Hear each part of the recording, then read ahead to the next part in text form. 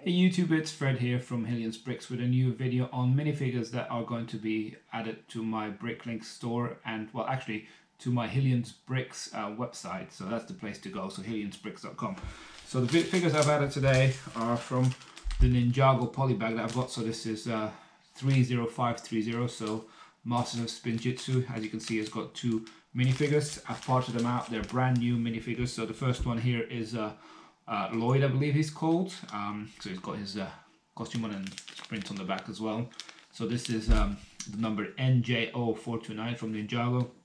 Now there's not many of these on eBay, and on eBay the new ones tend to go for about four or five pounds.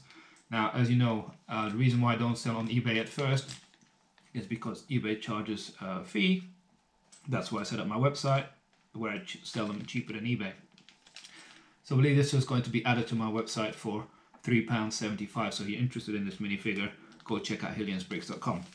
Now the other minifigure is also a Ninjago figure. Um, this is called Nya, N-Y-A. So it's NJO430. Now there's a few of these on uh, eBay, new, they typically cost £5. Again, this is going to be £3.75. There's a few used ones slightly cheaper uh, but I'm going to aim for £3.75 on my website. If these don't sell on my website, I will add them to eBay in about a month's time. So I've got five of these each, so if you're interested, check out my website.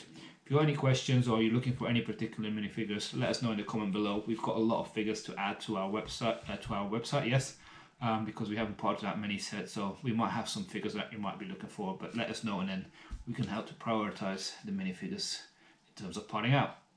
So we hope you enjoyed this video. Don't forget to subscribe if you enjoy our content and we'll see you again soon for another update. Bye.